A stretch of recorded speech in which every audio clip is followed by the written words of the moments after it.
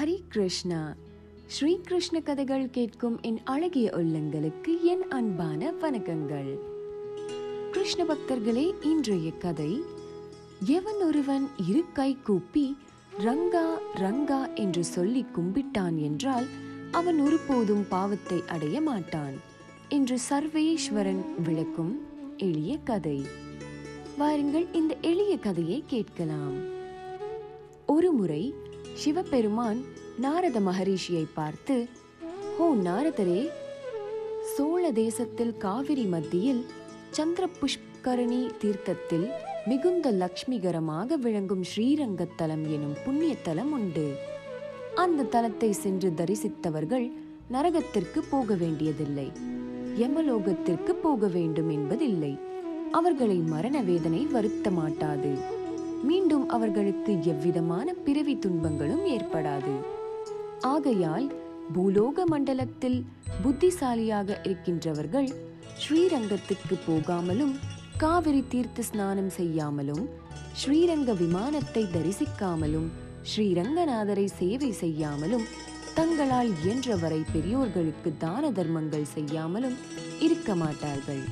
அது மட்டுமல்லாமல் தும்மல் வந்து தும்முகிற போதும் நடக்கும் போதும் உடலில் ஒரு நோய் கண்ட போதும் எதிரிகள் எதிர்த்த போதும் பாவிகளோடு சவகாசம் செய்யும் போதும் ஒரு பொய் வார்த்தை சொல்லும் போதும் மனோ வாக்கு காயம் எனும் திரிகரண சுத்தியாய் ஒருமுறை ரங்கா என்று தியானம் செய்து உச்சரித்தால் அவர்களுக்கு ஒரு அபாயமும் உண்டாகாது.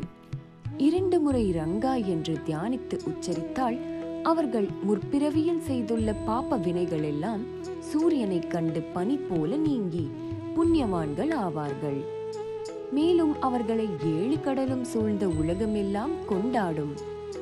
ஆயிரம் யோசனை ஆயிரம் மைல் தூரத்தில் இருப்பவனானாலும் அந்த தளத்தை நினைப்பான் எனில் அந்த மனிதனும் அவன் வம்சத்தில் இருப்பதோர் தலைமுறையில் உள்ள முன்னோர்களும் பூர்வ ஜென்மத்தில் செய்துள்ள சகல பாப்பங்களும் நீங்கும்.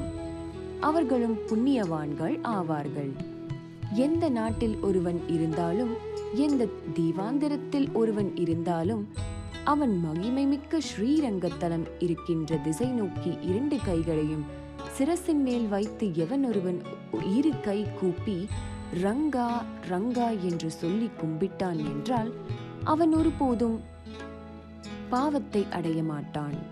இது மட்டுமல்லாமல் ஏகாதசி விரதம் நிச்சயமாய் முறை தவறாமல் இருந்து துளசி தீர்த்தம் சாப்பிட்டு அன்று இரவு முழுவதும் அந்த பகவான் மகாவிஷ்ணுவின் கீர்த்தனைகளை பாராயணம் செய்கின்ற பரம பாகவதர்களின் பெருமை மிகவும் சிறப்பு வாய்ந்தது. கிருஷ்ண பக்தர்களே நாமும் விஷ்ணு நாமத்தை அதாவது ரங்கா ரங்கா என்ற புண்ணிய நாமத்தை ஜபிப்போம்.